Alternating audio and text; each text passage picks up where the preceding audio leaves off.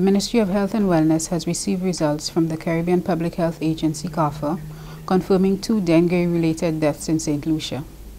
As indicated in a previous press release, both individuals were seen and managed at the Owen King European Union Hospital, where they presented with a clinical picture consistent with dengue fever.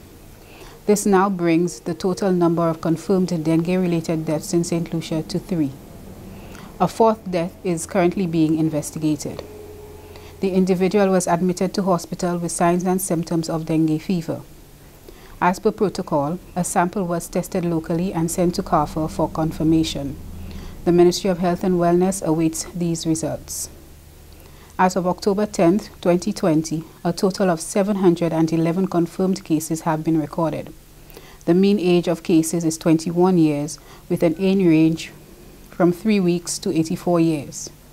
The northern part of the island continues to report the highest numbers of cases, although cases have been recorded throughout the island. The public is reminded that dengue fever can be controlled by reducing or eliminating the mosquito population. Measures to do so include eliminating breeding sites in and around their homes. This can be done by discarding of all open containers with stagnant water in and around your home on a regular basis. Using insect repellent, which may be applied directly to the skin, clothing, or mosquito nets. Wearing long sleeve shirts and long pants, especially during hours of highest mosquito activity.